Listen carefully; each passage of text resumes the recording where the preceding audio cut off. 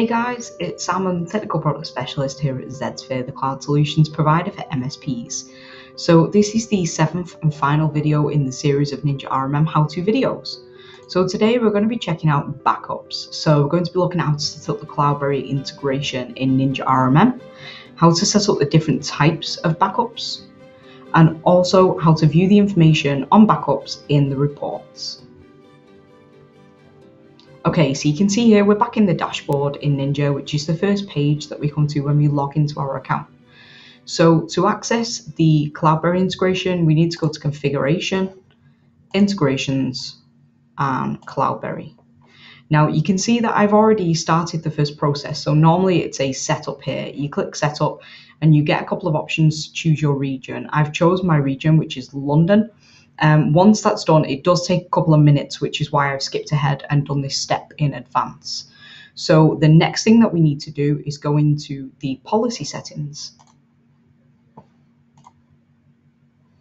So you can see in here, guys, we've got the backups uh, beta section. So we've got a few test plans that I've already set up here, but I'll run you through the backup plans. So there are two different types of plans. You've got file and folder and you've got image plan. So we're going to select file and folder just so I can show you how to set up a plan. So you type in a name in here. Um, you select your schedule so you can do daily, weekly, monthly, or every. You can select a local time and then you've got some options at the bottom here. I recommend you just leave those set to default.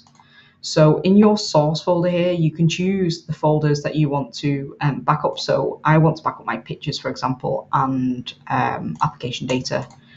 Destination is to the cloud. And then we've got some filters. So you can choose all files, which I'm going to leave it set to, but you can also include and exclude certain files as well. So this is great for you guys as MSPs. If you want quite granular backups for your customers, um, you can do that all in here. It's a really good little tool.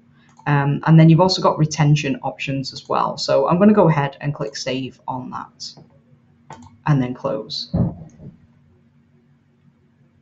So once we've set up the backup plan within policy, we need to come out of there and we need to go into the organization setup. So I'm going to do that now. So I need to choose my organization to turn on backup plans for. So it's as simple as when you go into an organization, you choose all devices and click yes. So this will basically deploy all um, the devices that you've got on there. It'll deploy Cloudberry to all of those and click save and then come out of there. Now I'm going to show you um, one that I've already set up in an organization. So let's take a look at that. So if we go into the settings tab, you can see here, this is the little pop-up box that you get. So once you've actually set up your Cloudberry integration, you can see that you've got lots of different types of restores. Now, this is an awesome feature for MSPs, guys. So you can choose a really granular um, backup solution here. So we've got file and folder restore, we've got bare metal, which was a feature that was really highly requested. Uh, physical disk restore, virtual disk restore, and synchronize.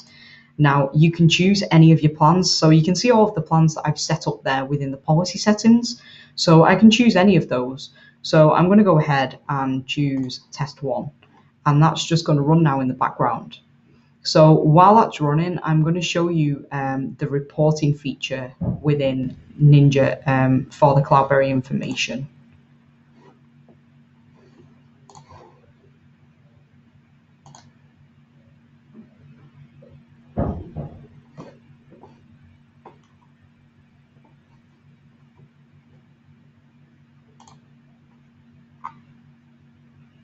So you can see here in the regular report, we've actually got an option for backups on here. So I'm going to go ahead and show you that report, um, just so you'll get an idea of the information that will be drawn in the report. So the backup section is right down at the bottom. Um, so here it is, guys. Um, backup plans. So you can see here that we've got backup licenses, we've got the device name and the workstation. Total space used is null at the moment. We've got backup plans listed here and backup history. So because this report hasn't actually run yet, it's not picked up on the information, but you can see the kind of information that would be drawn from the Ninja RMM and Cloudberry integration here. It's a great little feature. Um, it even tells you how much um, data you've copied across um, the total data that you've copied, the start and next start of your backup plans. So you can see um, when all of your plans are going to fall in place, what's going to be backed up and when. I think it's a really great little feature. So for you guys that are looking at a really good backup solution as well as Ninja RMM, I think the two go hand in hand and we highly recommend that you uh, have a look at Cloudberry. So guys, that was the video for backups. So I'm guessing that you might have some questions or some feedback on the videos. If you've got any questions on Cloudberry or Ninja RMM or any of our other products, then feel free to get in touch. My details are on screen right now. And also, don't forget, join our MSP partner program. So the Zedsphere MSP partner program has been set up just for you guys. So you'll get additional discounts on top of your MSP discounts. You'll get extended trials, free product licenses. You'll get a subscription to our quarterly magazine, Zed, which has got lots of hints and tips in there, and you get lots of other great benefits as well. It takes 20 seconds to sign up, so head to zedsphere.com, sign up now, and you won't be disappointed. Thanks for watching the video today, guys. That was the seventh and final video in the series of Ninja RMM how to videos covering backup.